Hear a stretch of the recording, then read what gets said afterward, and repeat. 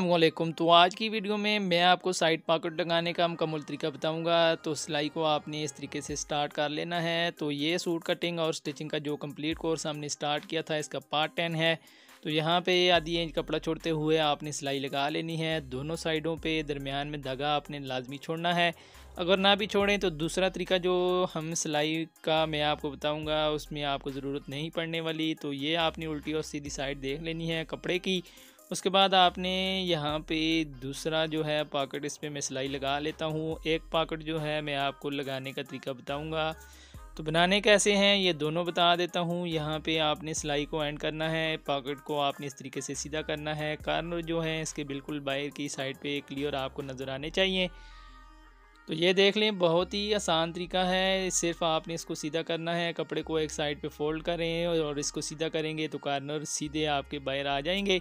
उसके बाद ये आपने पीस को ऊपर की साइड पे उठा लेना है और यहाँ पे आपने सिलाई को स्टार्ट करना है। वीडियो को मैं थोड़ा सा जूम करता हूँ। यहाँ पे आप देख लें, सिलाई किस तरीके से आपने लगानी है।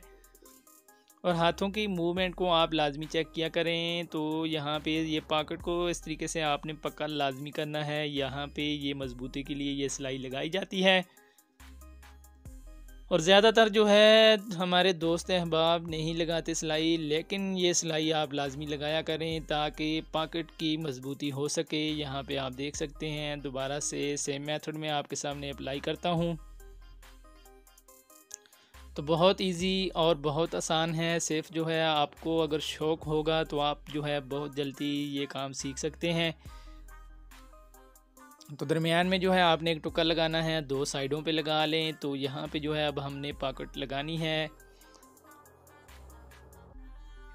तो पॉकेट लगाने के लिए फालतू जो है ये धागे आपको जो भी नज़र आए इनको काट लेना है। उसके बाद जो है दरमियान में बिल्कुल जो है ये आपके सिलाई के आने, आना चाहिए टुका तो ये टुका हमने बिल्कुल पॉकेट का दरमियान में लगाया था तो इस तरीके से आपने सिलाई लगानी है। यहाँ पे आप देख लें और उसके बाद सुई को नीचे की साइड पे रखेंगे और कपड़े को आप जो है पॉकेट को बाहर की साइड पे निकालेंगे और इसको अब आपने बिल्कुल सिलाई के ऊपर रखना है कार्नर को, पॉकेट की कार्नर को।